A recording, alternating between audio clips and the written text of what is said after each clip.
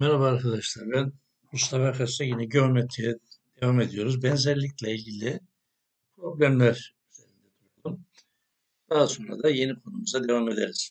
İşte yardımcı elemanlar, açıortay, kenarortay yüksekliği anlatırız. Şimdi buradaki olayda bunu vermiş bize. Belli değerleri de vermiş. Neleri vermiş ona bakalım. AB'ye 60 vermiş. AC'yi 100 vermiş. EC'yi 200 vermiş. CD'yi de 200 vermiş arkadaşlar. BD'de 300. Buna göre bizden istenen D noktası bulunan bir sürücü sırasıyla F ve E noktalarına daha sonra da C noktasına gidiyor. Aldığı yolun tamamını soruyor. O zaman biz şunları hesaplamamız için bence en kolay yolu şuradaki şekli görelim arkadaşlar. Burası 60, 100, 200. Hemen şu noktadan şöyle de yapabiliriz. Şöyle kenara paralel çekebiliriz ya da buradan bir paralel çekebiliriz. Birinden birini ben şu yan tarafta uygulamaya çalışıyorum.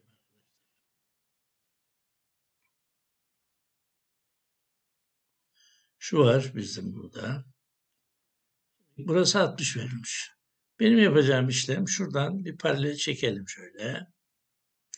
Paralel çektiğimiz için şu 300 buraya geldi. Burası x a oldu. Bunu da vermemiş bize.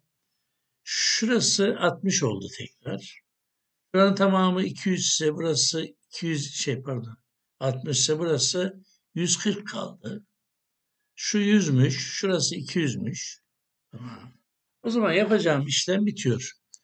Benim yapacağım işlem şuradaki uzunlukları tek tek bulabiliriz. Birinci yapacağım işlem 100'ün 200 oranından burası 300 iken burası 150 olur. A 150. O zaman bu da 150 olur. Şurası da 60. Sonra gelelim. 100'ün 300'e oranı 100'ün 3 buradaki benzerlikten 140'ın x oranı. Sıfırları sildim. 2 sıfır, 2 sıfır sildim. X eşittir buradan 420 çıktı. Şurası da 420 yaptı. O zaman şimdi aldığı yolun tamamını soruyorsa mesela A, D, F'yi kaç bulmuşuz? D, F'yi istiyor bizden. Önce F'ye uğrasın diyor. 150 bu şurası. 150 gidecek. Sonra burası 480 gidecek. Aşağıdaki yolun tamamı 480. Burası da Şurada zaten bize ne demiş? F'ye, önce F'ye gelsin. Sonra E noktasını E'den de C'ye gelsin. Zaten e, bu arayı da 200 vermiş.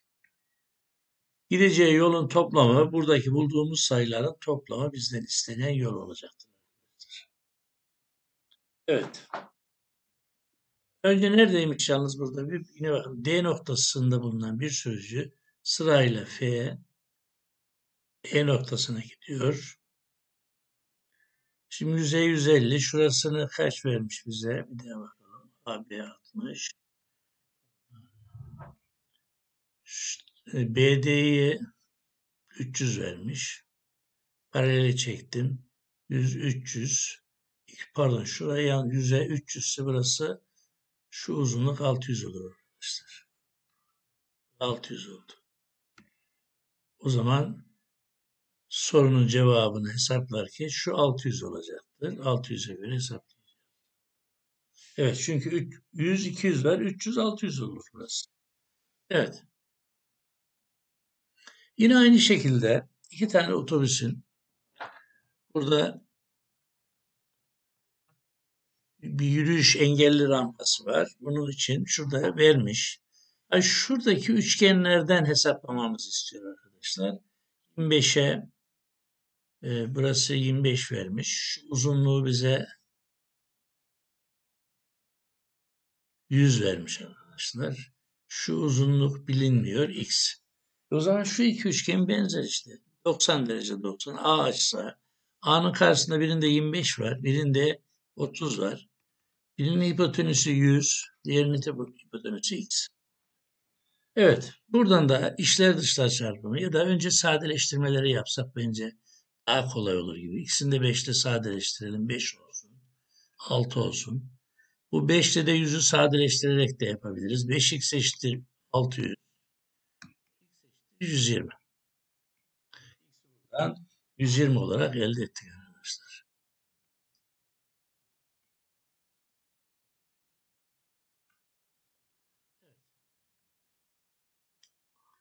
Yine aynı şekilde devam ediyoruz. Şurada bir düzenek vermiş. Yüksekliği 5 metre olan duvar dayanan merdivenler uzunluğu 13 metre. Bu merdivenin uzunluğu 13 metre. Bu merdivenin uzunluğu da 13 metre. Ne yapılmış soru şimdi bize burada soruda? 13 metre duvara dayalı ucu B'de olan merdivenin bu ucu A noktasına kaydırılıyor. Yani yukarıya kaydırılıyor. Yani şu 13 metre değişmiyor arkadaşlar. O zaman burada da 13 metre devam ediyor. O zaman sorunun çözümü burada da 5 zaten neyi vermiş bize? Bir 5 vermiş. Şuradaki uzunluğu 5 metre vermiş. Yükseklik 5. Yani şurası 5. Ya da şöyle yapalım. Şu uzunluk 13. Şurası 5. Şuranın tamamı bu sefer bağıntısından 12 çıkar. Evet. 12 olarak budur. İkinci duruma kaydırdığın zaman burası ne olacak şimdi burası? Yine üçgenlerin benzerliğini yapacağız. Benzerlikleri veya eş üçgenleri burada 13 olacağı için eş üçgenler olacak. Eş üçgen burası 13 olursa buranın 5 buranın şu uzunluğun 12 olması lazım. Bu uzunluk 12 olursa AB'ye 7 kalır. 5 olacak. Çünkü üçgenler değişmiyor. Bu yükseklik şuradaki hipotenüs uzunluğu 13 13. Açı 90 A açısı A açısı buraya geldi. Yani bir şey burada değişmedi. O zaman burası 12 ise diğer tarafı mesela bunun B'nin karşısı 12 ise bu B'nin karşısı 12 olacak. A'nın karşısı 5 ise A'nın karşısı 5 olacak. Burası 5 olacak. O zaman 5, burada tamam 12 ise buraya 7 birim kalıyor. Şimdi bu soruda da arkadaşlar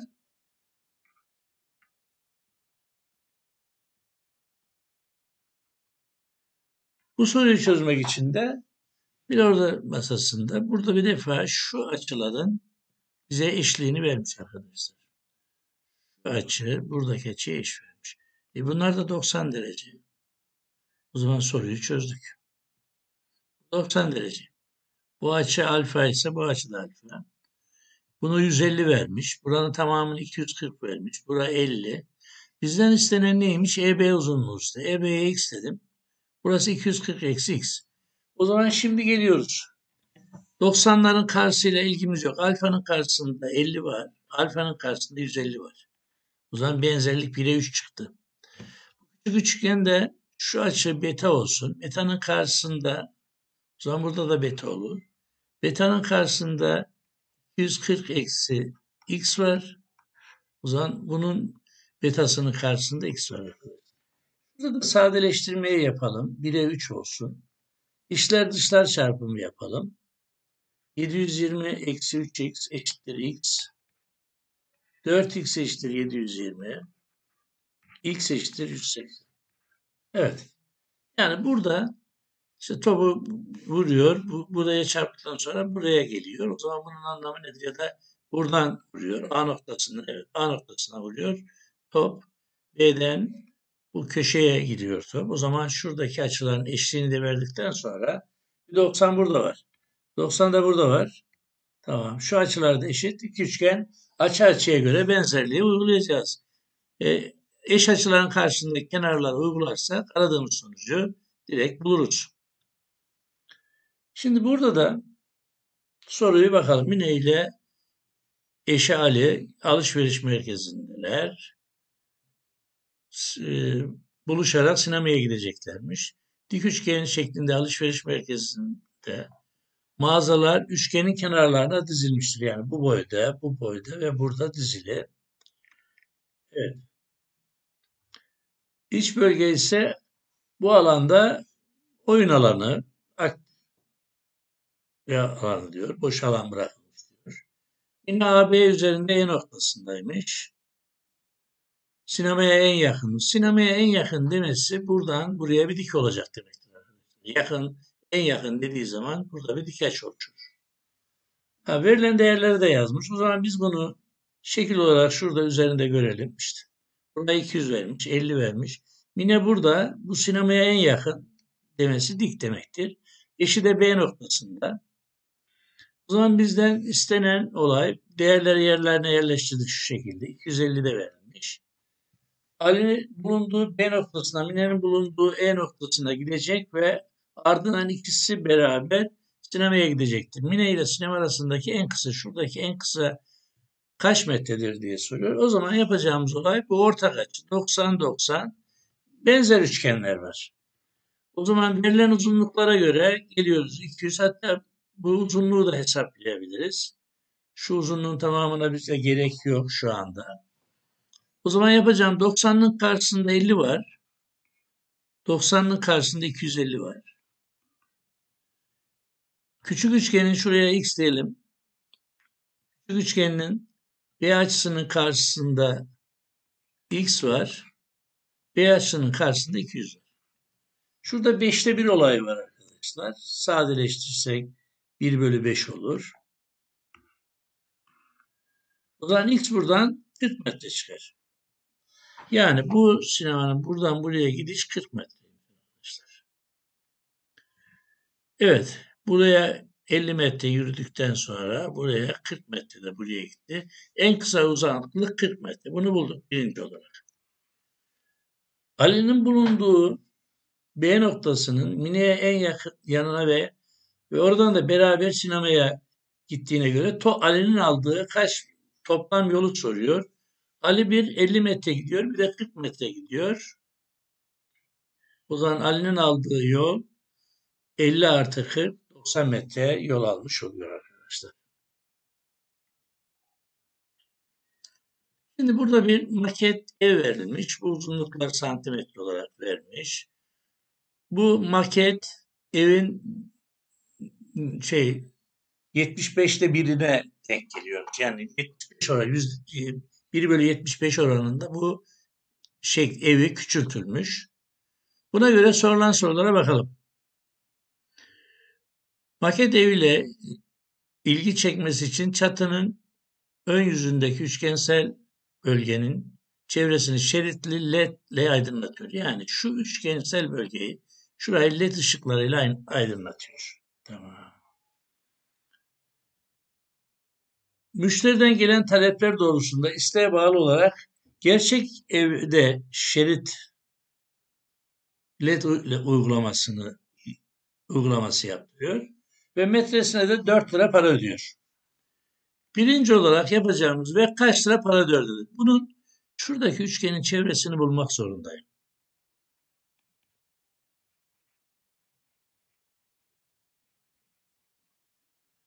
Otuz altı santimetreymiş.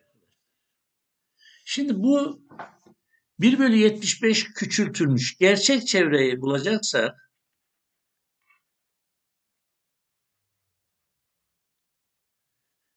1 bölü 75'i buysa tamamını bulmak için 75'te çarparız. Herhalde 2700 santimetre yapıyor. Biz bunu metreye çevireceğiz. 27 metre yaptı. Şimdi her bir metreye 4 lira ödeyecek. Şey, bu döşede ışık kablosu metresi 4 liraymış. 27 çarpı 4 bizim ödeyeceğimiz parayı verir arkadaşlar. 108 lira bunun için para ödeme yaparmış arkadaşlar. Önce ne yaptım? Bu maketin çevresini bulacağız. Sonra gerçek evin çevresini bulmak için 1 bölü 75 oranında küçültüğüne göre 75 ile çarparsan gerçek boyutlarını buluruz. Santimetre biz bunu metreye çevirerek çözeceğiz. Çünkü bir metresi 4 lira diyor. Ona göre bulduğumuz metreyi de 4 ile çarparak aradığımız sonucu böylece elde ederiz arkadaşlar. Evet. Şimdi devam geçiyoruz. Şimdi üçgendeki yardımcı elemanlar dediği zaman bir açıortay, iç açıortay, dış açıortay. 2 kenar ortay, 3 yükseklik bunları göreceğiz arkadaşlar. Şimdi bir açıortay çizerken yaptığımız olay şuymuş açının merkezine batırıp bir çember çiziyoruz. Sonra bu çemberlerin aynısını bir D, bir E'ye e, den çiziyoruz arkadaşlar. Bir E noktasına batırıyoruz. E'ye batırıyoruz. E'ye batırıyoruz. Bunların ikisinin şurada kesiştiği noktayla B'yi birleştirdiği zaman işte açıortay çizmiş oluyoruz. Yani bir üç bir açının açıortayını çizerken izleyeceğimiz yol buymuş. Açıortay üzerindeki noktanın kenarlara diklikleri var burada da. Açıortay üzerinde bir nokta aldım. Bir pergelle çember çizdik. Sonra bunun kestiği noktalarla da aynı şekilde iki tane daha bir K bir E'ye birleştirdik.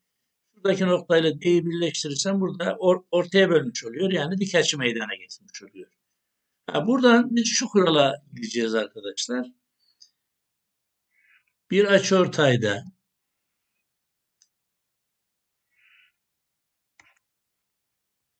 kenarlara dik çekildiği zaman bu dikler birbirlerine eşit. Şu ayırdığı parçalar da birbirine eşit. B ve. Bunun burada ispatını yapmaya çalışılmış. Biz burada bileceğimiz tek şey bunun buna eşit açıortay üzerindeki bu parçanın da buna eşit olduğunu bilmemiz gerekiyor. O zaman şu sorudakini uygulayacak olursa açıortay çizilmiş B köşesine BA'nın en kısa BA'ya en kısa uzaklığı burası. Şu uzunluk x eksi 2'ymiş. P noktasının uzaklığı. Burası da neymiş? 7 eksi 2x'miş. Ne dedik? X'i birbirlerine eşit olacak. O zaman x eksi 2'yi 7 eksi 2x'e eşitlersem aradığımız sonucu direkt bulmuş oluruz. Mesela buradaki olayı da şöyle yapabiliriz. Bunu e, şu uzunluk bak buradan açıortay diklik varsa buraya da bir çekersem bu da dik olur. Şu uzunluk A ise burası da A olur arkadaşlar. Zaten BC AB artı 3 olduğu için buraya A ise buraya 3 kalır. Ha, dikle bunlar eşit olacağı için burada 4 olur. O zaman burada 5 olur. E bizden istenen DC uzunluğunu e, kaç birim diye sormuş. DC uzunluğu 5 birim olarak çıkarır. Yaptığımız şey şu. Açıortay olduğu için buradan dik çekildiyse buraya dik çektim. Bu uzunluk bu uzunluğa eşit olacak. AA olacak. Zaten BC'ye AB artı 3 dediğine göre buraya 3 kalacak. Evet.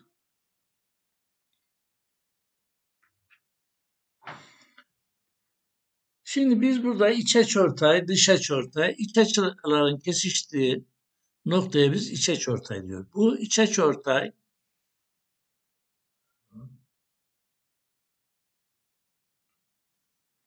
Burası iç açıortaydır.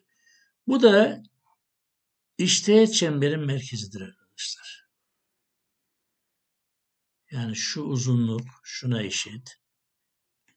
Az önceki açıortay kuramı. Bu buna eşit. O zaman iç açıortayların kesiştiği nokta işteğet çemberin merkezi olurmuş. Evet. Şimdi bu açı iç açıortay kesişmiş. O zaman şuradan çekeceğim de iç açıortay olur arkadaşlar. Çektiğimizde açıortay olur. Bunlar da birbirlerine. Şimdi bizden soruyu şöyle sormuş. İkisi iç açıortay 66 derece demiş. Bizden buradaki D açısını bulmamızı istiyor arkadaşlar. Biz D açısını nasıl buluyoruz? İki yolla anlatalım. AA, BB. Biraz sonra bir formül yazdıracağız bununla ilgili. Şimdi birinci olarak üçgenin iç açıları toplamından 2 artı 2b artı 66 eşittir 180. Buradan a artı b eşittir. Bunu karşıya atacağım. 114 kalacak. 114'ü de 2'ye böleceğim. 57. A ile B'nin toplamı 57 ise X artı A artı B eşittir 180'de. A artı B'nin yerine 57'yi yazarsam 123 olarak karşımıza çıkar. Biz bunu şu formülle yapıyoruz. İçteki yani formül ezberlemek, iç açıortay, dış açıortayda ayrı ayrı formüller düşünmek istemiyorsak bunu yaparız. Eğer ben formülü kafamdan tutar dersen x eşittir 90 artı a açısının ölçüsü bölü 2. Tabi bunlar içe, iç açıortay bura.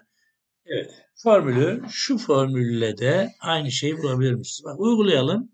Bunun yarısı 33 eder. 90 33 eklersen 23'ü ne yapmış oluruz? Bulmuş oluruz. Mesela bu soruya bakalım yine aynı şekilde. Ben yine aynı formülümü uyguluyorum ben. Formülü uygulamadan şuraya da x diyelim. Buradan a artı b küçük üçgen a artı b üçünün toplamı 180 olacağı için 70 olur. 2a ile 2b'yi bulursam soru zaten daha kolay çözülür. 140 olur. x artı 2a artı 2b de 180. Üçgenin büyük üçgen 180.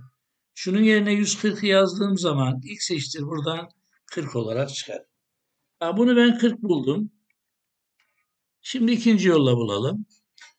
110 eşittir. 90 artı x bölü 2.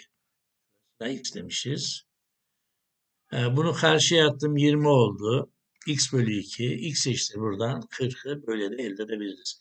Bu bize kalmış bir şey. Bence şu daha sağlıklı götürür. Formülde acaba bu muydu değil miydi sorunu yaşamak istemiyorsak bence onu yapmamızda fayda var. Şimdi dış açıortaysa arkadaşlar yapacağımız şey de şudur. Bunlar AA, bu da BB.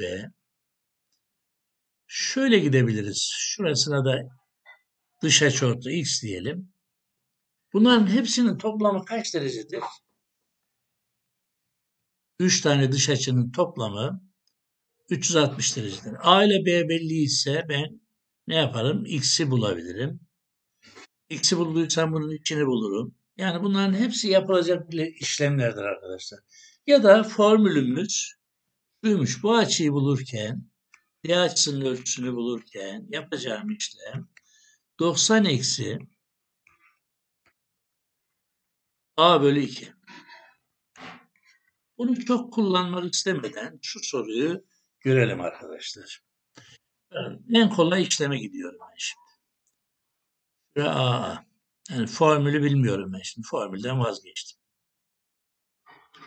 Şurası da 160. 2A artı 2B artı 160 eşittir 3. 2A artı 2B 200. A artı B 100 eder. İşte A ile B'nin toplamı 100 ise şuraya da X dedim. X artı A artı B 180. Buraya da 100'ü yazarsam 80 olarak çıkar. Ha ben formül kafamda kalır diyorsan X'i buldum. Ne diyormuşuz? X eşittir 90 eksi 20 bölü 2. Ha ben formülle uygulayacak olursam da bunu uygularım. X buradan 80 olarak karşımıza Evet. İkisi de geçerlidir arkadaşlar. Ha, birisi dış, birisi iç açıortay verdiyse eğer şuradan uzatacak olsam bak şöyle çizecek olsam arkadaşlar şu da dış açıortay olur.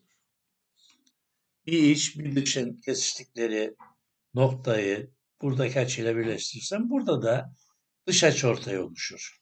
Ya da iki dış açıortay burada kesişiyorsa B ile birleştirirsem burada iç açıortayı meydana getirir. Ha, buradaki açı da şuradaki açıya şuna A ders, şuraya A dersem burası 2A olur. Yani şuradaki açı bu açının ne olacakmış? Yarısı olacakmış. Onu da şuradaki işlemlerle bulmuş. Yani bu açı hep şuradaki açının yarısı olmuş. 2A ise A olacaktır. Onu da bir BDC üçgeninde şu C'yi hesaplıyoruz. D ile B'nin toplamı oluyor. ABC üçgeninde 2C şuradaki açı A ile 2B oluyor. Evet, getirelim ben şimdi şuradaki C'nin yerine B artı D'yi yazarsam zaten bu işlem sonucunda D açısı yani şu D A'nın yarısı olduğu karşımıza. Burada üç tane formülümüz var. Sorunun durumuna göre bunları uygulayabiliriz arkadaşlar. Şimdi geldik buraya. O zaman bu da dış açıortay olacak arkadaşlar. Burası da 45 olacak. Tamam. Şimdi yaptığımız olay bak. bir iç bir dışın kesişiyorsa şuradaki açıyı söyleyebilirim. Şuradaki açı 40'tı. Neden? Bunun iki katı olur. Bu 40, 90 o zaman buraya 50 kalır. Evet, yapacağın işlem bu. 20 ise bakın bunlar dış açıortaysa bu da iç açıortay olmak zorunda. 5, 5 20 ise bu onun buradaki açı onun iki katı olur. 40, 90, 40 buraya 50 kalır. İç açıortay dendiği zaman üçgende NA diyoruz. Burada da şöyle bir oranımız vardır. Bu kenarın buna oranı, bu parçanın bu parça oranına eşit. Ya da şöyle de yazar. Bunun her türlüsü yazılır. Bak DB'nin DC'ye oranı, AB'nin AC'ye. Şunu da yazabilirsin. AB'nin doğru yazmak kaydıyla BD'nin oranı, AC'nin DC'ye oranı. Arkadaşlar zaten bak şunlarda yer değişikliği yapsan o çıkıyor zaten. Yani bunun yapacağınız en kolay işlemler bu. Yani iç açıortay varsa bu kenarın oranı, bu parçanın bu parça oranına olacakmış. Onu da buradaki anlatıma göre ne yapıyoruz? Bu B noktasından AC'ye bir paralel çekiyoruz. Paralel çekersek bu açı A ise bu da A olur. Ortay çizdik arkadaşlar. O zaman açı bu A ise bu da A açısı oldu. O zaman bu kenar buna eşit oldu. Zaten AB, BE'ye eşit oldu. Üçgenlerin benzerliğini de yazdığın an aradığın sonucu rahatlıkla söyleyebilirsin. Ha, bizim bilmemiz gereken bu kenarın buna oranı, bu parçanın bu parçaya oranını yazmamız gerekiyor. Uygulamaya bakıyoruz arkadaşlar. İşte bunu vermiş. Hiç uğraşmayacağız. Açıortaysa 6'nın 3 oranı da yazabilirsin. 9'un buraya da x diyelim x oranı. Ya böyle yazmazsan 6'nın 9 oranı 3'ün x oranı aynı şeydir. Hiçbir şey değişmez. Burada da sadeleştirme yaparsak burası 2 olur. 2x eşittir 9'dan x eşittir 9 bölü 2 olarak karşımıza çıkacaktır. Evet. Yine burada değerler vermiş. Çevre verilmiş. AC'yi 15 vermiş. AB'ye 12 vermiş. Bizden istenen DC soruyor. Çevreyi 45 verdiyse bunun tamamını ben bulabilirim. 27 yapar. Buraya ne kalır? 18 kalır. Bizden de DC istediği için x ise burada 18 eksi x. Bitti. Uyguluyorum. 12'nin 15 oranı 18 x. x'in x oranı. Çünkü 45 diye çevre verilmiş. 27, 18 kaldı. Şunu da sadeleştirelim ikisinde. 3 ile 4 olur, 5 olur. Hemen içler dışlar çarpımı. 4x eşittir. 90 eksi 5x. 9x eşittir. 90. x eşittir buradan 10 çıkar. Aradığımız değer olmuş arkadaşlar. Bu da farklı bir yolla çözmüş. Hiçbir şey değişmez. Biraz uzatabilirsin. Önemli değil. Yani yapacağın olay 12'nin 15'e bu parçanın buna. Tamamını çevreden dolayı bunun tamamını 18 buluyorum. Olay bitiyor. Evet arkadaşlar. Şimdi bakın bu kenarlar eşit. Diklik varsa bu da aynı zamanda çortay olur. İkiz kenar üçgende şunu unutmayacağız. Bir ikiz kenar üçgenin varsa Burada çizeceğim bir kenar ortay. Aynı zamanda yükseklik olur. Aynı zamanda açıortay olur. Açılar birbirine eşit. Parçalar bir kenarlar eşit. Evet hem bu açıortay olur. Kenar ortay olur, yükseklik olur. O zaman bakın burada kenar eşitlik verdiyse bunlar 9 9 ikiz kenar üçgen hemen bu da açıortay olur. Açıortaya göre uyguluyorum. 9'un şurayı sormuş herhalde. EF'yi sormuş X. 9'un buradaki 12 oranı. Şunun tamamını oranı. 3'ün X oranı. Burada da hemen sadeleştirme yapalım. 3, 4 diyelim. 3'ler de birbirini götürür. Devam ettirelim. 3, 3x eşittir 12. Buradan 4'ü elde etmiş oluruz. Evet. Geldik bu soruya. Çevreyi vermiş. AB bunları eşitlemiş. Şimdi bu açıortay evet ABC AB bu kenar buna eşitmiş arkadaşlar. O zaman bu şekilde açıortaysa bu aynı zamanda yükseklik, aynı zamanda kenarortay. Burada 6 olur. 32 ise 12'yi çıkardım. Bunlar da 10 10 olur. Bunları bir defa kendimiz şu ikizkenar üçgenden dolayı bulduk.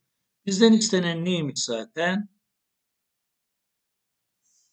Şu yükseklik isteniyormuş arkadaşlar. NA dediği yükseklik.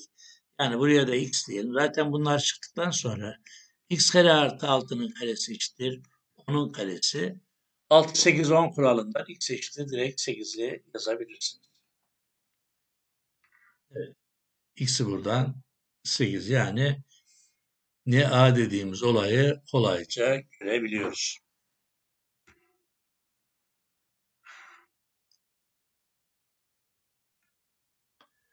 Arkadaşlar dış açıortaylarda da uygulayacağımız olay şudur. Kenarın şunlara harf verelim istersen. Bu kenar B, bu kenar C. Şu kenar A, şuraya da X diyelim. Bakın dış açıortaysa B'nin C'ye oranı X'in bir buradan buraya kadar geleceğiz. Bir de tamamını yazacağız. X artı A'ya oranı. Dış açıortayda da uygulayacağımız formül bu dış açıortay. Ne demiş burada? DC'nin DB'ye tamamın oranı AC'nin AB'ye oranı. Biz de zaten onları harflerle bunlara ad verdik. Böyle bulduk. Bunu da bulmak için şu C'den bu kenara bir paralel çektiğin zaman şu açıyla şu açı iç ters açı Eşit olur. O zaman burada bir kenar üçgen olur. Bu, bu kenar eşit olur. Ondan sonra da Thales'ten yazabiliriz. Thales'ten nasıl bunun bunu oranı. Doğru mudur? Bu parçanın tamamının oranı.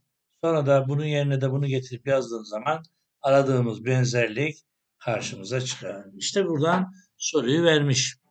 CD'yi istiyor. Dış açıortay. 4'ün 12 oranı. Hiç bakmıyorum. X'in X artı 10 oranı. X'in X artı 10 oranı. Burada da sadeleştirirsem 1'e 3 oldu. O zaman X artı 10 eşittir 3X oldu. 2X buradan 10 çıkıyor. X eşittir 5'tir. X değeri 5 olarak. Ha bizden bir de ne istemiş? Şurayı 5 bulduktan sonra arkadaşlar e, tamam. bitirdik. Şimdi bu soruya bakalım. İçle bu. Bu iç açıortay, bu dış açıortayların bizden ne diyor? A köşesinden çizilen iki yükseklik varmış. Ben anlatayım. Şurada anlatalım. ABC üçgeni. Bir iç açıortay çizilmiş. Bir de dış açıortay çizilmiş. Burada da bunlar AA olsun. Şunlar da BB olsun. Şimdi biz bu şekli tamamlayalım. Bu iç açıortay X, bu da dış açıortay Y diyelim. Başka ne verilmiş bize? DE'yi de DE de şurası D, şura E'ymiş. Bu uzunluğu da 8 vermiş. Şimdi bunun çözümünde düşüneceğimiz tek şey şuranın tamamı 180'dir. 2A artı 2B 180. A artı B 90 çıkar. Şu açı 90 derece. 90 derecede bu kenara da bize 8 vermiş. O zaman Pisagor bağıntısını getirip uyguluyorum. x kare artı y kare eşittir 8'in karesi. x kare artı y kare eşittir 64. Zaten bize sorulan da o 64 değeri. Neyi soruyor? Bunun karesiyle bu ne a'dır. Bu da dış açıortay üzerine yapalım. Bunların kareleri toplamı soruyor. Tek bileceğimiz burada bizim önemli olan nokta Aynı köşedeki içle dış açının toplamı 90 derece. Bunu bilmemiz bizim soruyu çözdürüyor. Evet. Bugünlük burada bitirelim.